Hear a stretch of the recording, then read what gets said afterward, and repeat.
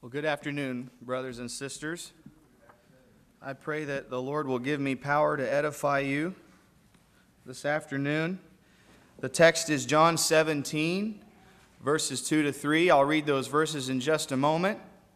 In reflecting on our theme for this renewal, what is Jesus doing now? There are three, I think, three pillars, three truths that hold up this particular theme. First of all, this, this theme presupposes a living Christ. It, it seems like it goes without saying, but a, a living Jesus is the only kind of Jesus who can be doing anything now. A dead Jesus could not be working in us now. And when we affirm that Christ is alive, we are in fact saying that he has risen from the dead bodily.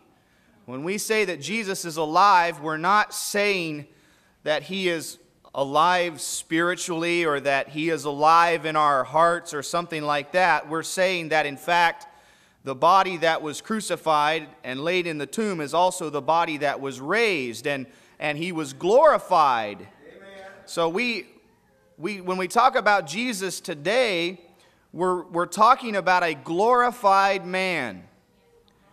Uh, he, is, he is still a man. He's a glorified man, but he's still a man. And he's in heaven where we're going. And that's the only reason we can go there is because he's already there. So this, this theme presupposes a living, resurrected Christ. Secondly, this theme provides the agenda for the church. And what I mean is this whatever Jesus is doing, to some degree, we have to be involved in it. I could even go farther and say that whatever Jesus is doing, we ought to be doing too in our own measure.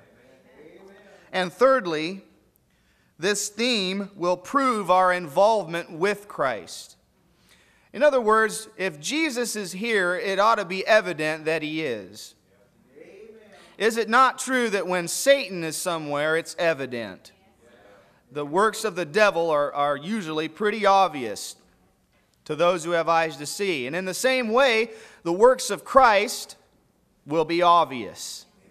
So if the Lord if the Lord is working in us and through us and if the Lord is working among us, then that will become evident that we're operating according to his agenda. So those are those are some things that I think undergird this theme. We have a living Christ, the church is to follow his agenda. We're not free to make our own. And if we're involved with him, that's going to be abundantly clear. My text is John 17, verses 2 and 3.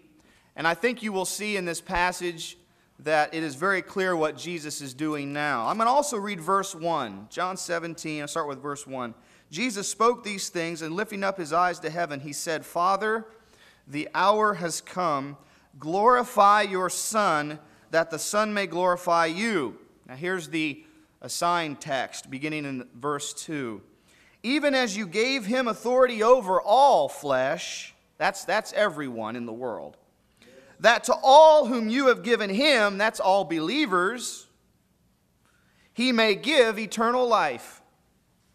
Now he's going to define it. What, what is eternal life anyway? Verse 3 this is eternal life, that they, the ones whom God gave to Jesus, may know you, that's God the Father, the only true God, and Jesus Christ, whom you have sent.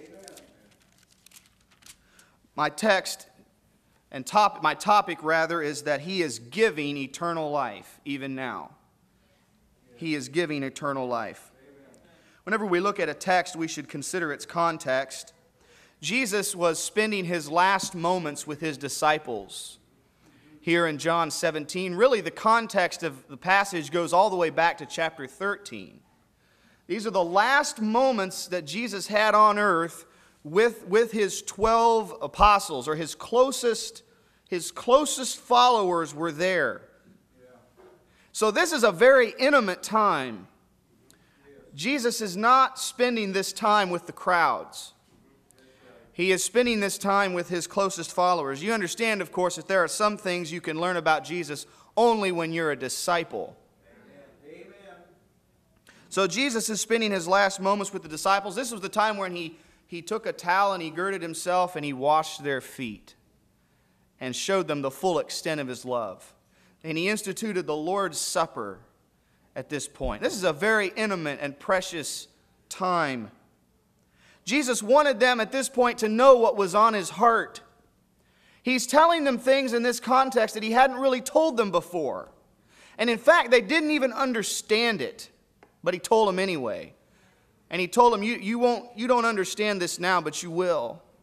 You'll understand later. There are some things like that in, in the Christian life, isn't there? That we don't understand when we hear it, but later we, we understand. He wanted also to comfort them. They were disturbed by the thought that he was leaving them. He, he told them, I'm, I'm getting ready to depart. I'm going to go back to the Father. I came from the Father. He said, I'm going back to the Father. I'm not going to be with you anymore physically. And of course, as you can imagine, they were, they were upset about that. That distressed them. They didn't really fully understand why he had to leave, but he did have to leave. He had come into the world to accomplish a specific mission. And he was about to accomplish that mission and then return to the Father. And it had to be that way. Jesus never came in the flesh to remain here in the flesh. Amen. The Jews thought that when the Christ came, he would establish some kind of physical earthly kingdom. They misunderstood the nature of the kingdom of God. I think that was part of their problem here, why they didn't understand what Jesus was doing. But he had to, he had to tell them that he was going away. He was preparing them for his departure. But his departure would not be the end of his ministry.